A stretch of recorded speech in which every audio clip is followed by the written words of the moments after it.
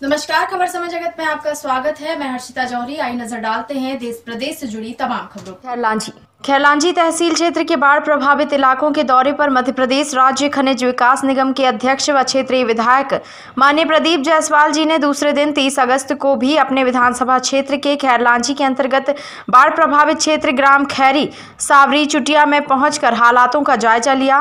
खैरी सावरी के बीच नाले के पुलिया में अधिक जलस्तर बढ़ जाने से बाढ़ की चपेट में आए मकानों में फंसे करीब डेढ़ सौ लोगों को एसडीआरएफ की टीम, होमगार्ड व प्रशासन की मदद से निकालकर सुरक्षित स्थानों में ठहराया गया। वहीं खैरी के पवारी टोला एवं ढीमर टोला से एसडीआरएफ टीम के साथ एसआई अनूप यादव द्वारा बाढ़ में फंसे कुछ लोगों को रेस्क्यू किया गया। इस दौरान खनिज विकास निगम के अध्यक्ष के साथ एसडीएम संदीप सिंह खैरलांजी तहसीलदार, थाना प्रभारी रामबाबू चौधरी, एसआई अनूप यादव भी मौके पर उपस्थित हैं। राहत एवं बचाव कार्य के लिए एसडीआरएफ की टीम, होमगार्ड एवं पुलिस बल भी मौजूद है।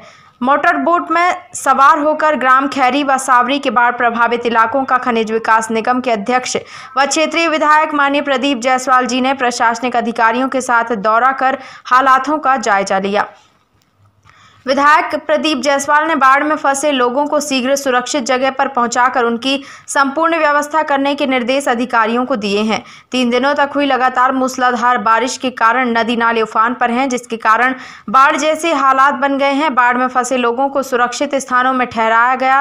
लोगों की मदद के लिए विधायक माननीय प्रदीप जायसवाल ने खाद्यान्न सामग्री पहुँचाई है। साथ ही अधिकारियों को निर्देश कर फंसे लोगों तक हर संभव मदद पहुँचाने के निर्देश दिए। साथ ही खनिज विकास निगम के अध्यक्ष माननीय प्रदीप जायसवाल जी ने ग्राम पंचायत व शासकीय स्कूल में ठहराए गए लोगों से मुलाकात की और उन्हें आश्वस्त करते हुए उन तक हर संभव मदद पहुँचाने की बात कही। इस दौरान वरिष्ठ नेता फेकन लाल डोहरे, विक्की एड़े, संदीप मिश्रा, विनय सुराना, राजकुमार बहेटवार सहित ग्राम के सरपंच, सचिव व ग्रामीण जन मौजूद रहे। काटा है सामने। हाँ और घुमा और काटो। पूरा काटो। अब जान दो। यहाँ से जाने दो ना हमारी साइड से जाने दो।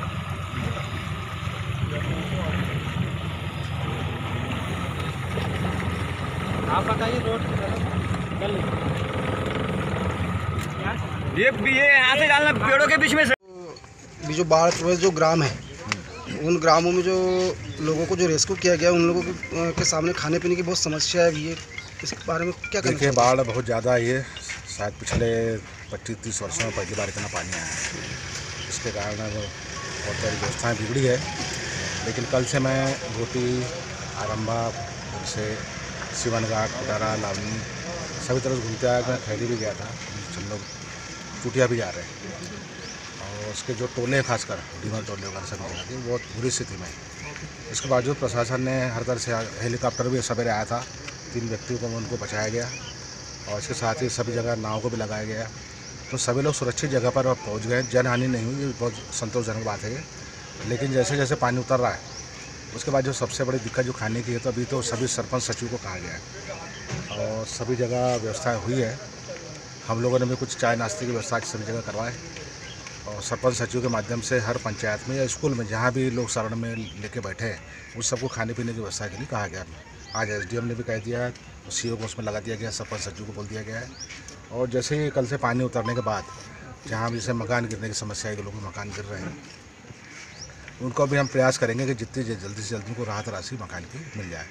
और उसके बावजूद जहाँ भी खाने पीने की व्यवस्था के बारे में कहीं कमी आती है तो हमने कल से वाराणसी से भी हम प्रयास कर रहे हैं कि यहाँ से हम पूरी सब्ज़ी के पैकेट बना के, जहाँ भी डिमांड आएगी, हम उसको खाने पीने की व्यवस्था करेंगे।